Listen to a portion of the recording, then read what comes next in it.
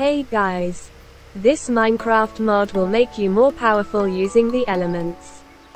Begin by making the heart of lava, the heart of nature, the heart of mind, the heart of electricity, the heart of the sky, the heart of the earth, and the heart of ice.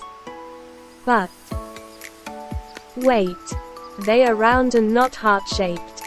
This is where the heart cracker comes in.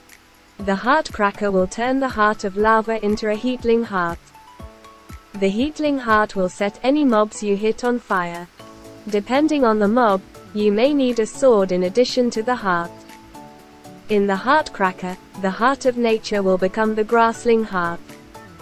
This heart poisons any mobs that you hit. When you place the heart of mind in the heart cracker, you'll end up with the mindling heart. It makes you invisible as long as you crouch with it in your hand. It also gives you weakness, speed, and resistance. Putting the heart of electricity into the heart crusher machine transforms it into the bolting heart. This heart summons lightning. Placing the heart of the sky into the heart crusher will convert it into a clouding heart. It gives you weakness, slowness, and slow falling too. This is one of my least favorites. The heart crusher transitions the heart of the earth into a groundling heart. It gives you night vision, strength, and haste too. In this machine, you get the colding heart from the heart of ice.